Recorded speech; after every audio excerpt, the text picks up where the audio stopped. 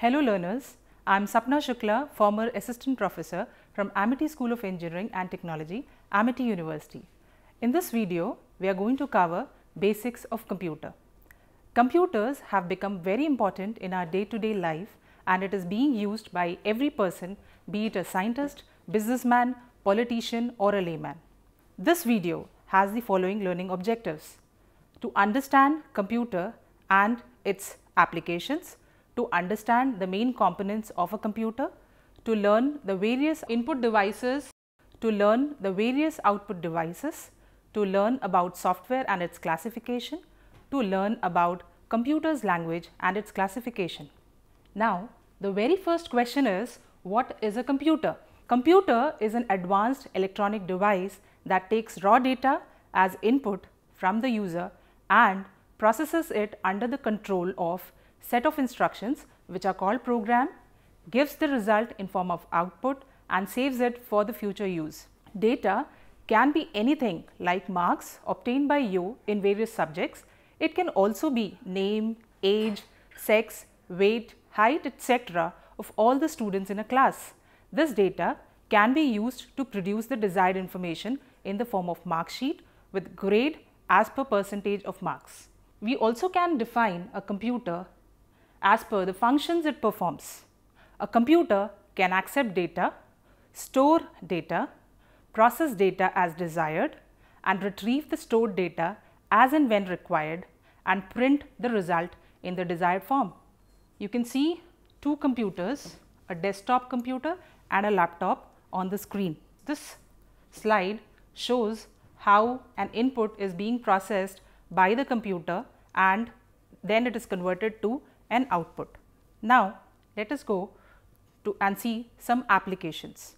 There are various applications of computers in today's arena. Life without computers would be unimaginable today. Computer is used in business organizations for payroll calculations, budgeting, sales analysis, financial forecasting, managing employees database, maintenance of stocks, etc. We have the next application in banking. Banks provide following facilities. Banks provide online accounting facility which includes current balances, deposits, overdrafts, interest charges, shares and trustee records. ATM machines which are making it even easier for customers to deal with banks is also a form of computer. The next application we have in insurance field. Insurance companies are keeping all records up to date with the help of computers. The insurance companies, finance houses and stockbroking firms are widely using computers for their concerns. Insurance companies are maintaining a database of all clients with information showing procedure to continue with the policies, starting date of the policies, next due installment of a policy, maturity date, interest due, survival benefits, bonus. The computer has provided a lot of facilities in the education system also. The computer provides a tool in the education system known as computer based education which is CBE. CBE involves control, delivery and evaluation of learning. The computer education is rapidly increasing the graph of number of computer students. There are a number of methods in which educational institutions can use computer to educate the students. It is used to prepare a database about performance of a student and analysis is being carried out on this basis. In marketing, we use computers. With computers, advertising professionals create art and graphics, write and revise copy and print and disseminate ads with the goal of selling more products. Home shopping has been made possible through use of computerized catalogs that provide access to the product information and permit direct entry of orders to be filled by the customers. We are using computers in healthcare also. Computers have become important part in hospitals, labs and dispensaries. The computers are being used in hospitals to keep the record of patients and medicines. It is also used in scanning and diagnosing different diseases. ECG, EEG, ultrasounds, CT scans etc. are also being done by computerized machines. Some major fields of healthcare in which computers are being used are diagnostic system, computers are being used to collect data and identify cause of illness. Lab diagnostic systems, in this all tests are being done and reports are being prepared by computer. We also have patient monitoring system. These are used to check patients' signs for abnormality such as cardiac arrest, ECG, etc. Pharma information system is also there which checks drug labels, expiry dates, harmful drug side effects, etc.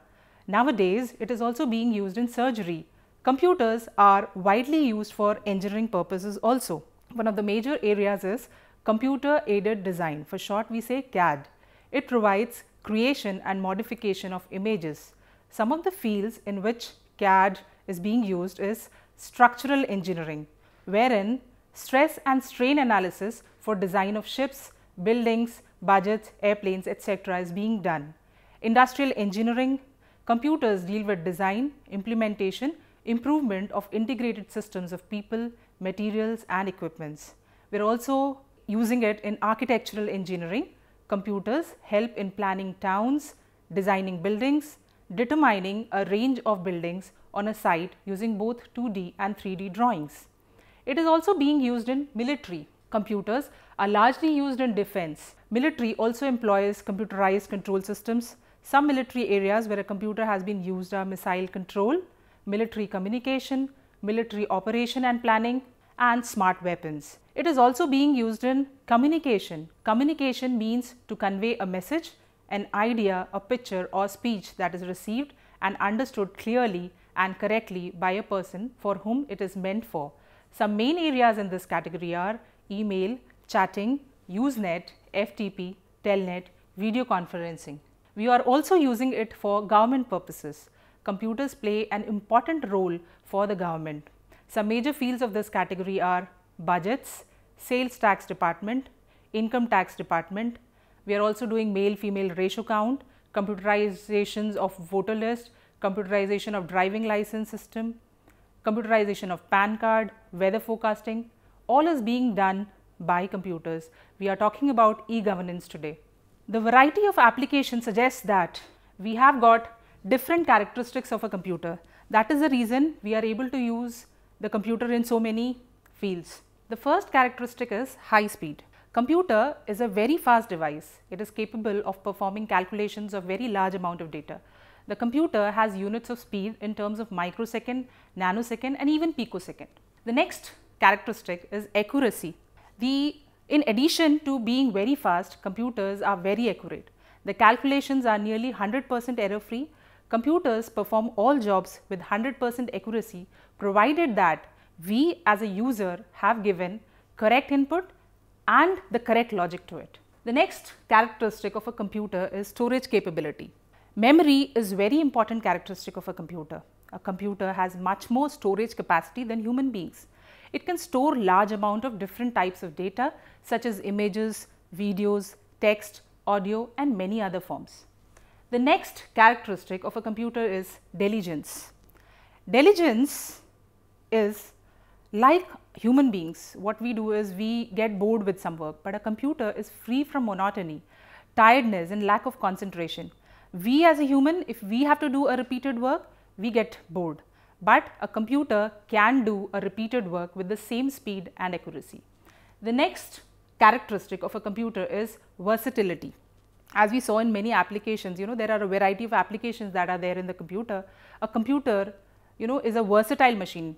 It's versatile, we know from the applications, which it, this can be used to solve problems ranging from engineering problems to layman problems and there are you know a lot of applications which we are using in computers. The next characteristic of a computer is reliability. Computer is a reliable machine. Modern electronic components have long lives and hence nowadays we all rely on computers. The next characteristic of a computer is automation. Automation means ability to perform a given task automatically. So, once a program is given to the computer that is stored in the computer's memory, the program and instruction can control the program execution without human interaction. So, this is what is automation. The next characteristic of the computer is obviously reduction in paperwork. Everything is on the computer. The use of computers for data processing in an organization leads to reduction in paperwork and results in speeding up a process. As data in electronic files can be retrieved as and when required, the problem of maintenance of large number of paper file gets reduced. The next is obviously reduction in cost. Though the initial investment for installing a computer is high obviously, but it substantially reduces the cost of each of its transactions.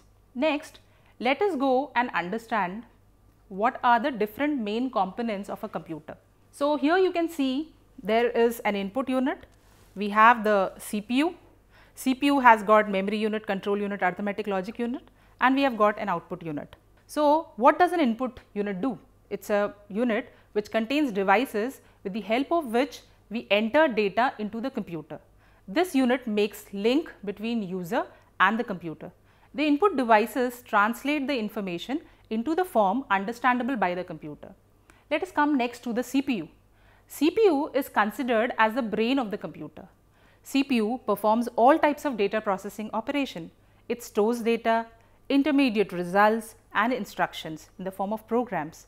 It also controls the operation of all parts of the computer. CPU itself has got many parts, the memory unit, the control unit, the arithmetic logical unit.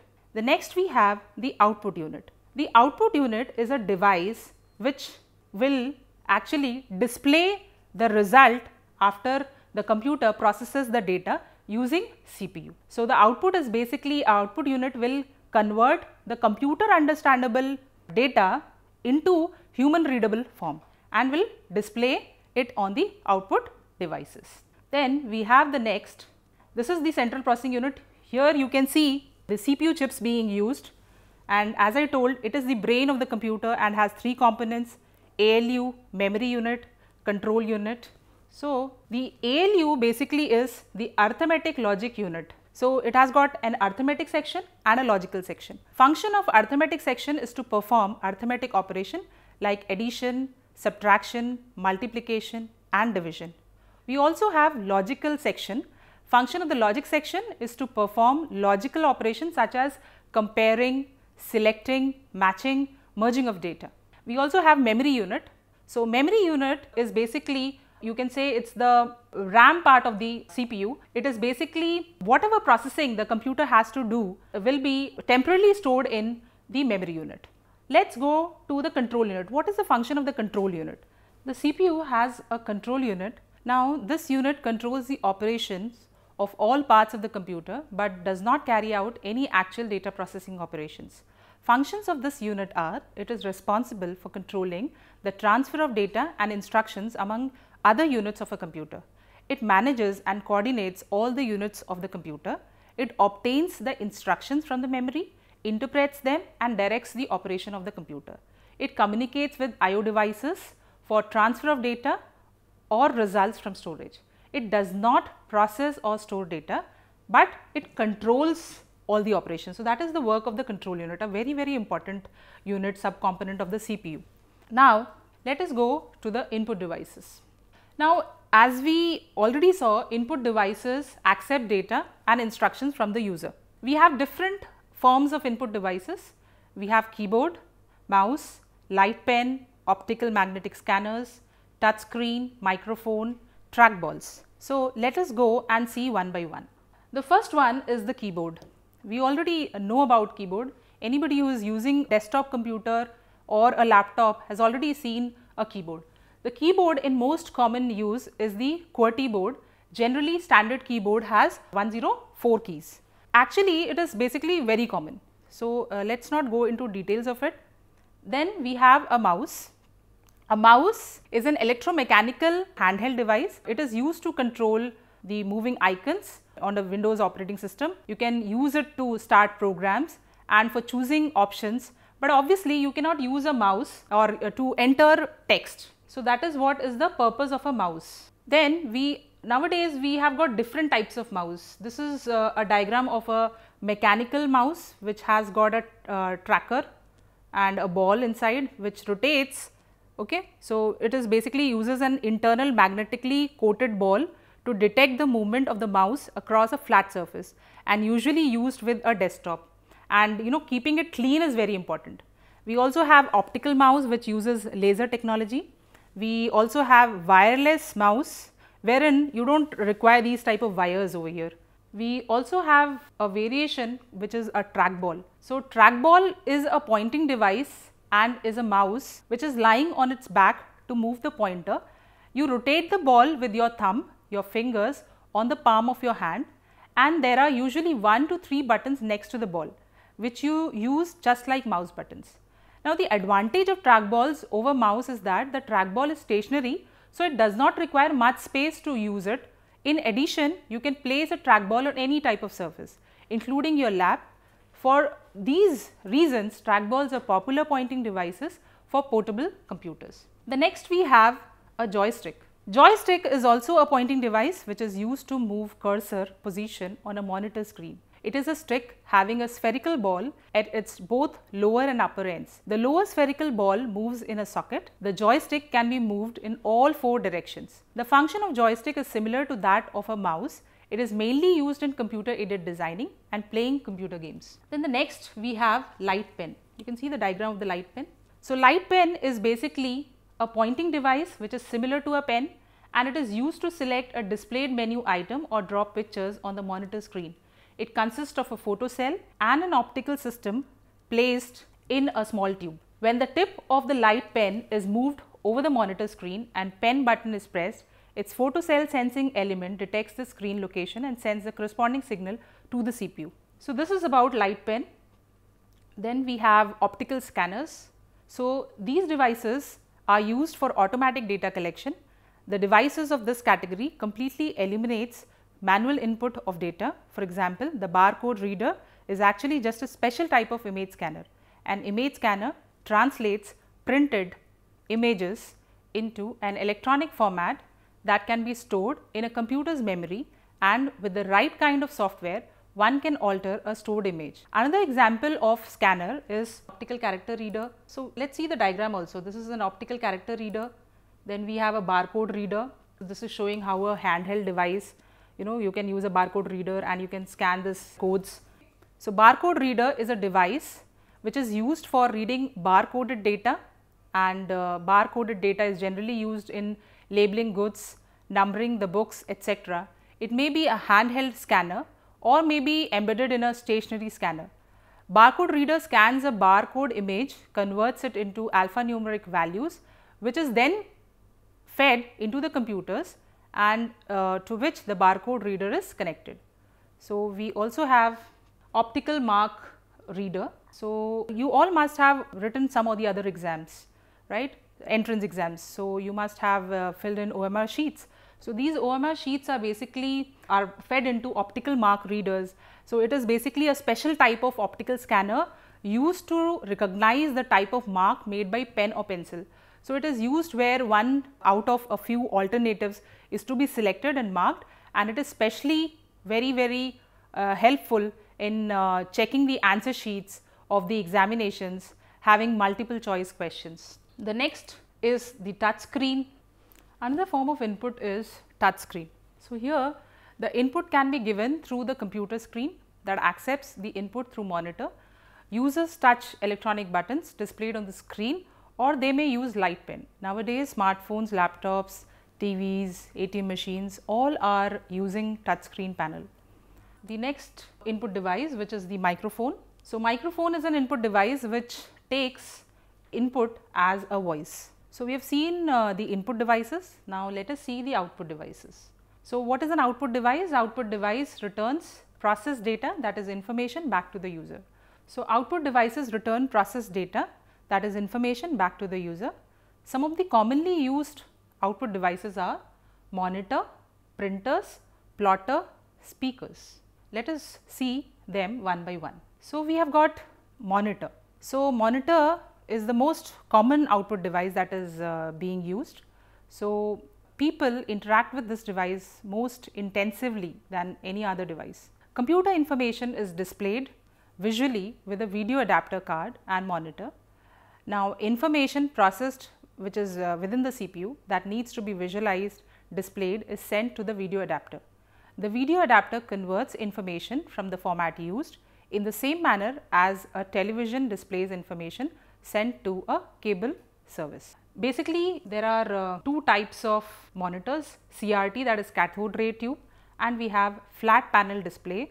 Flat panel display it may use a technology of LCD that is liquid crystal display or it may use LED that is light emitting diode display. So, basically CRT cathode ray tube monitor is a typical monitor that you can see on a desktop computer. It looks a lot like the old style television screen and works the same way. These monitors uh, have a stream of intense high energy electrons which is used to form images on a fluorescent screen. A cathode ray tube is basically a vacuum tube containing an electron gun at one end, fluorescent screen at the other end. So, under the flat panel monitor, uh, it uses liquid crystal display. So, basically it this uses a cold cathode fluorescent backlighting. In case of LED displays, what happens is uh, we have uh, light emitting uh, diodes in which backlighting is done and LED monitors are said to use much lesser power than the CRT and LCD and are considered far more environment friendly. The only disadvantage is that CRT is the least costliest, then is the LCD and the most costliest one is the LED. So, that is uh, it is environment friendly, but it is uh, costly. The next we have the various types of printers. So, uh, printers come various forms. Uh, so, uh, let us say after a document is created on a computer and maybe I want a hard copy. So, how do I take that hard copy? So, I can take the hard copy of a document using a printer. Some printers offer special features such as colored and large page formats. So, printers come in many forms. So, we have got a laser printer, we have got an inkjet printer, we have got a dot matrix printer, line printer, Okay. So, let us consider laser printer first. So, laser printer is basically produces high quality print that one normally finds in publishing. It is extremely fast and quiet. Moreover, the operation of a laser printer is easy with automatic paper loading and no smudging or messing up of ink ribbons is there. The fastest laser printer can print up to 200 pages per minute in monochrome and up to 100 pages per minute in color. Let us go to the inkjet printer. An inkjet printer is like a laser printer, but it uses ink cartridges. So, basically it creates an image directly on paper by spraying ink through uh, as many as 64 tiny nozzles and although the image it produces is not uh, generally quite as sharp as the output of a laser printer, but the quality of the inkjet uh, images is still high. Then let us come to the dot matrix printer. So, dot matrix is the oldest one which is uh, being used. It is one type of an impact printer. So, it was very popular at one point of time. So, it is very versatile and inexpensive output device. In dot matrix printer, the print head physically hits the paper, hence the name impact, through the ribbon and produces text or images by combination of dots, hence the name dot matrix printer. Its speed is measured in characters per second although it is less expensive, but it is louder, slower and produces lower quality print. We also have another form which is called a line printer. Here you can see the image. So, a line printer is basically used with large computer systems to produce text based data processing reports. Line printers are high speed printers with speeds ranging anywhere from 100 to about 3800 lines per minute. In the past, print quality on line printers was not very high, but developments in the technology are improving the print quality on line printers also. So, these are, in the cost ranges of lakhs of rupees. The next output device we have is a plotter. So, where do we use plotters? If we have printers, why are we using plotters? So, plotter is basically a special kind of output device that like a printer produces images on paper, but does so in a different way.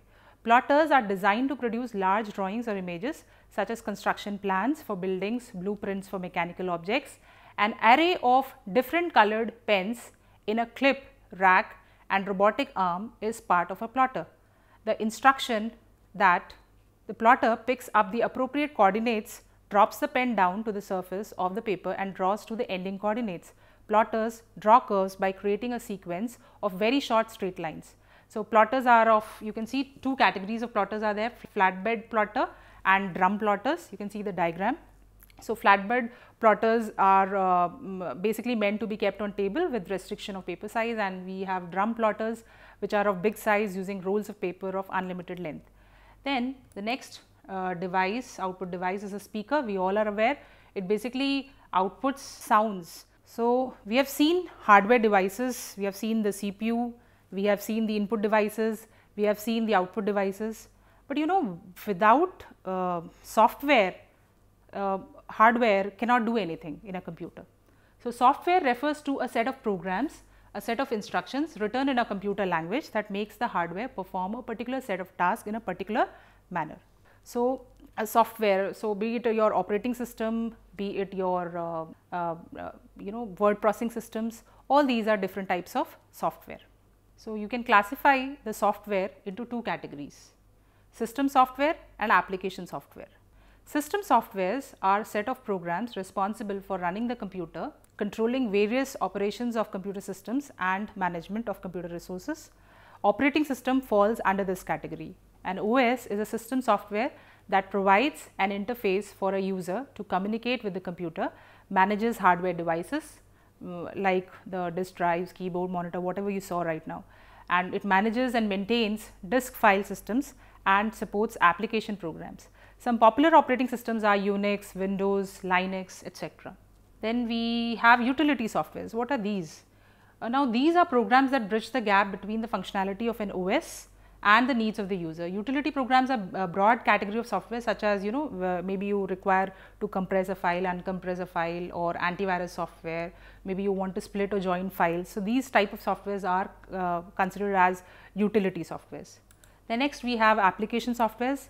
Application software is a set of programs which are written to perform specific tasks. For example, an application package for managing library is known as a library information system and it is used to manage information of library uh, such as keeping book details, account uh, holder details, book issue details, book return details etc. Another application package can be managing student details in the form of student information system which can manage students roll number, name, parents name, address, class, section, processing of examination, results, etc.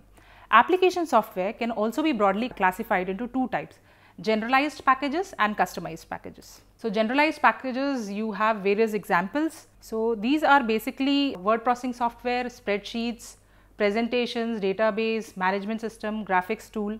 Generalized packages are basically user friendly softwares written to cater to users very general needs such as preparing documents, drawing pictures as you can see in the list. Then we next we have customized packages. So, customized packages are application softwares wherein you have to customize to meet a specific requirement of an organization or institution.